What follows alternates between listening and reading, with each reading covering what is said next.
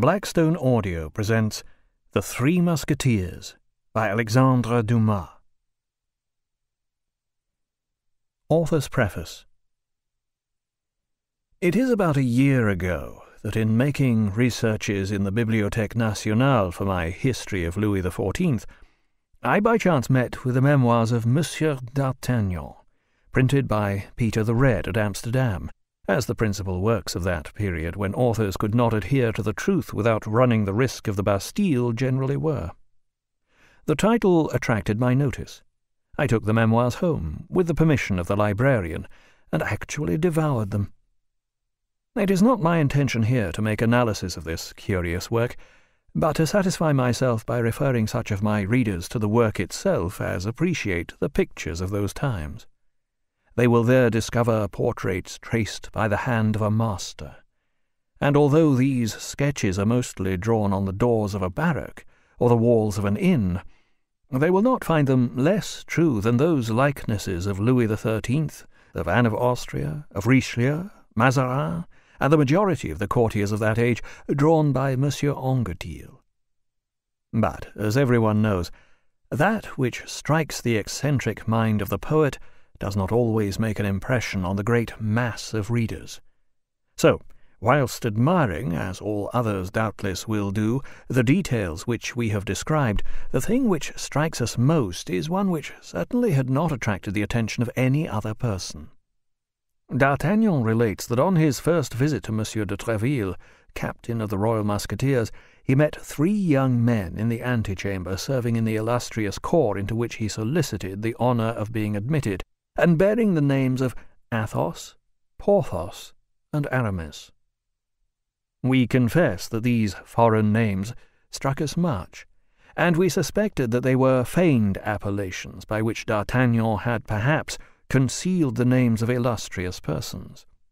If perchance the bearers of them had not themselves chosen them, when through caprice, discontent, or lack of fortune, they had donned the simple coat of a musketeer. Therefore, we could not rest satisfied till we had found in contemporary literature some trace of the extraordinary titles which had so forcibly excited our curiosity. The mere catalogue of the books we read to gain this end would fill a whole chapter, which would perhaps be very instructive, but certainly far from amusing to our readers. We will therefore content ourselves with saying that at the very moment when, Discouraged by such fruitless investigations, we were about to abandon our researches, we at last, guided by the counsels of our illustrious and learned friend Paulin Paris, discovered a manuscript folio, numbered 4772 or 4773, we forget which, having for its title The Memoirs of Monsieur le Comte de la Fère, relating to some of the events which passed in France about the end of the reign of Louis XIII and the beginning of the reign of Louis XIV. Our pleasure may be guessed when, in turning over this manuscript, our last hope, we found at the twentieth page the name of Athos, at the twenty-first the name of Aramis, at the twenty-seventh the name of Porthos. The discovery of a manuscript entirely unknown at a period when historical knowledge was raised to such a high pitch appeared to be almost a miracle. We therefore quickly requested permission to print it, that we might one day introduce ourselves to the Academy of Inscriptions and Belles Lettres with the goods of others, if we do not happen, as is very probable, to enter the French Academy on our own merits. This permission was most graciously accorded, which we here declare, to give a public contradiction to those malevolent persons who pretend that government is not inclined to indulge authors.